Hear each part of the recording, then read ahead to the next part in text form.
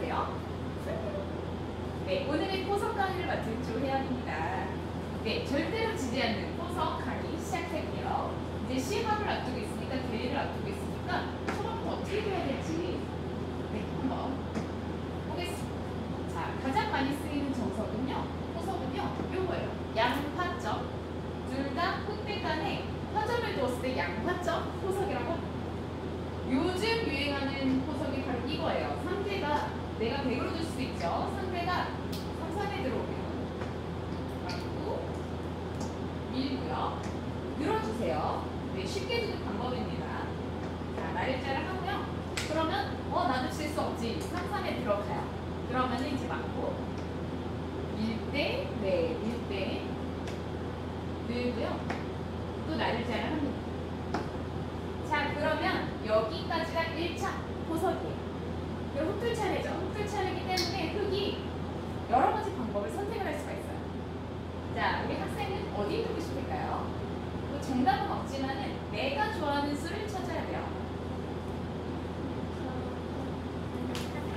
8점에 여기 네, 이 수도 좋죠. 이 수는 우변에, 우변이죠.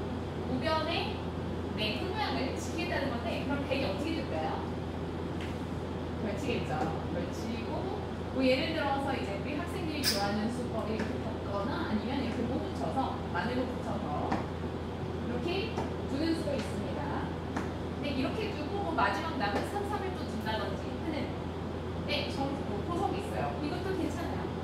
이것도 하나의 방법이고 만약에 어, 나는 집으로 실리를 좀 더 많이 챙기면서 두고 싶다라고 하면 이렇게 날짜로 붙이는 것도 방법이에요. 날짜를 붙이면 괜히 이렇게 걸려올 때 뭐 이런 식으로 벌린다든지 높게 둬도 되고요. 이거는 이제 취향법. 근데 높게 두는 수가 좀 더 많이 쓰이는 것 같아요. 네, 이렇게 두는 것도 하나의 과정이죠. 아주 괜찮아요. 괜히 만약에 여기를 네, 갈라쳐 보면 이런 식으로 다가서서 이세 점을 공격하는 방법이 있습니다.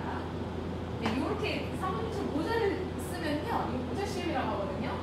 그 여기서 학생이 될게 모자는 날일자로 벗어라. 날일자 어디죠? 한점이에요. 한점이 날일자로.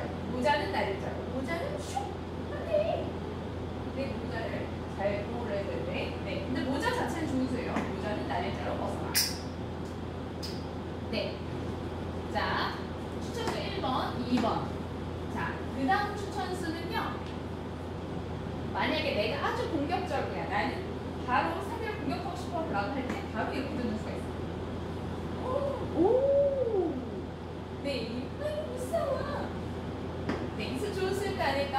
안 좋아요. 네, 맞아요. 네, 여기에서는요. 괜히 이게 손대도 손을 뺀다는 건 다른 곳에 준다는 얘기거든요. 그 손대가 안 좋기 때문에 보통 이런 식으로 많이 줍니다. 네, 이렇게 주고 받아주면 네, 이런 식, 네, 이런 식으로 둬요. 이런 식으로 둬서 이 세 점과 이 두 점의 싸움이 되겠죠. 네, 그러니까 이렇게 두는 방법이 있고요. 만약에 네, 흙이 이제 성공을 해오면 그때는 망설이지 말고 우리가 잘 아는 정석 있죠. 이 정석을 두시면 됩니다. 네, 요렇게 이 선으로 두면요. 하나 띄워서 네, 이것은 네, 흙이 이제 세 점을 공격을 하겠지만은 공격 네, 이런 식으로 두거나 아니면 붙여서 조금 어려울 수도 있는데 이런 것도 알아주시면 좋을 것 같아요. 양호도 치면 젖혀서 들고 그 다음에 이제 다른 곳을 또 두면 어, 흙의 세력과 백의 실리의 흐름이 되겠죠. 네, 그렇기 때문에 여기서부터 두고 싶은 대로 즐겁게 두면 돼요. 네, 우리 학생이 대회를 앞두고 이제 사모님 잘 몰라 조금 긴장할 수도 있고 그런데 대회는요 기본적으로 나의 실력을 보여주는 곳이기 때문에 즐겁게 두면 돼요. 저도 많이 배웠고 이기면 이기는 대로 즐거운 게 과정이에요. 또 이번 대회는 특징이 한 판 졌다고 해서 떨어지는 게 아니에요. 무조건 세 판을 두게 돼 있습니다. 1라운드, 2라운드, 3라운드 둬서 오! 아니 우리 학생이 아 이거 3패 당하면 어떡하지? 4번님이 실망하실 텐데 오! 이러면 안 되고 이번 8강에 올라온 멤버들은 굉장히 강해요.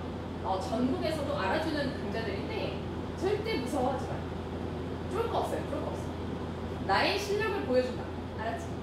상대가 강하면 강할수록 예를 들어서 제가 보니까 엄청나게 강한 선수가 한 명 있더라고요. 네? 그 오빠한테 나의 힘을 보여주세요. 그러면 오빠가 두다가 음, 눈이 커져. 아니 이렇게 잘 드는 두구두구두구두구. 네 선생님이 누구예요? 하고 물어볼 거예요. 도대체 쌤이 누구시지? 이렇게. 아닌 척하지 말고. 자 우리 학생들은 선생님 지도 사모님이 누구시지 하면 없는데요? 막 이러거든요. 아 내가, 내가 그런 말을 들을 때는 내가 조금 당당해져요. 아니 내 학생들 지도 사모님이 누구시냐 모르는데요? 없는데요? 이러면 아니 근데 그거는 학생이 자유이기는 하지만 아마 우리 학생이 어, 시합에서 실력을 보여주면 분명히 물어보는 분들이 생길 거야. 그러면은 제 이름 얘기하시면 우리, 우리 학생들처럼 내가 왜 유교 안 되고 난 유교하기 싫은데요? 이- 만약 그렇다면 얘기 안 해도 돼. 네, 왜냐면은 사모님은 모든 학생의 자유를 존중하기 때문에 그런데 어, 사모님이 말이야 PBA 바둑 아카데미를 청량리에서부터 시작을 했단 말이죠. 2019년 3월부터 시작을 했는데 아주 그 뭐라고 해야 되지 그 개성이 가득한 학생이 많이 오더라고요. 저는 이 학생들의 어떤 자유의지나 개성을 아주 존중해요. 아주 독특한 학생들이 우리 학원에 많이 왔는데 어 사모님은 예를 들어서 뭐 학생이 누구냐 하면은 어 저기 뭐 누구예요? 뭐 김모모군이에요. 뭐 박모모군이에요. 이렇게 얘기를 하는데 우리 학생들은 음, 저는 지도 사모님 없습니다. 하여튼 네 지금까지 질문 있으실까요? 다 이해됐어요? 이거 들 수 있겠지? 네. 아, 재밌는 것 같아요. 저는 이제 그 도장 즉 학원을 하면서 배우는 게 많습니다. 여기서 결론적으로 1번, 2번, 3번 이렇게 두면 되겠고요. 아 나는 선 사모님이 추천해서 다 싫어요. 전 여기 두고 싶어요. 이수가 나쁜가 좋을까? 괜찮아. 이수도 괜찮아요. 단 사람들이 많이 안 둬서 그렇지 이수 자체 나쁘면 안 돼요. 그러니까 호석은 스트레스 받지 말고 내가 두고 싶은 곳을 두는 것이 제일 좋은 수.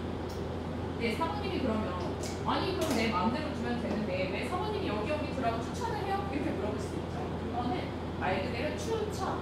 뭐 예를 들어서 나 오늘 김치찌개를 먹고 싶어. 근데 이제 자꾸 어뭐 사모님이 치킨을 먹으래, 피자를 먹으래 하면은 어 나 그거 먹기 싫어요라고 말할 수 있는 권리가 있죠. 그런 것처럼 어, 사모님 생각에는 어, 네 피자, 치킨, 뭐 된장찌개가 좋